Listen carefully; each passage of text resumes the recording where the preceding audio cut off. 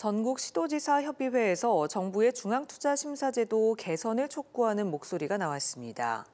이장우 대전시장은 어제 서울 프레스센터에서 열린 시도지사 협의회 총회에서 행정안전부의 중앙투자심사제도는 전액 지방비로 추진하는 사업도 타당성 심사를 받게 해 자율성을 크게 제약한다면서 개선을 위해 전국 지자체가 공동 대응해야 한다고 강조했습니다.